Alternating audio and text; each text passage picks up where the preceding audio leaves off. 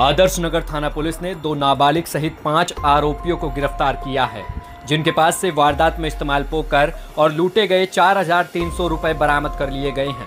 Police को दुर्घटना के संबंध में एक शिकायत मिली। मामले में घायल जितेंद्र यादव को अस्पताल ले जाया गया, जहाँ डॉक्टरों ने उसे मृत घोषित कर दिया। ऐसे में पुलिस ने मामला दर्ज कर कार्रवाई शुरू की।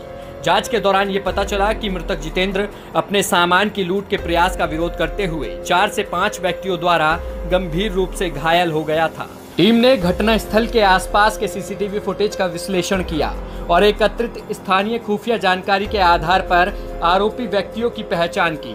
खुफिया और तकनीकी निगरानी के आधार पर कई स्थानों पर छापे मारे गए, जिसके बाद दो नाबालिग सहित पाँच आरोपियों को गिरफ़्तार कर लिया गया।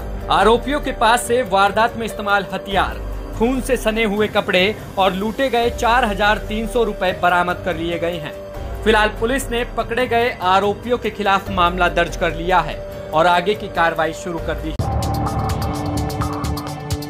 हमसे जुड़े रहने के लिए हमारे YouTube चैनल को सब्सक्राइब करें और नई वीडियो की नोटिफिकेशन के लिए बेल आइकॉन को दबाएँ। अगर आप ये वीडियो Facebook पर देख रहे हैं तो लाइक ज़रूर करें और ज़्यादा से ज़्यादा शेयर करें धन्यवाद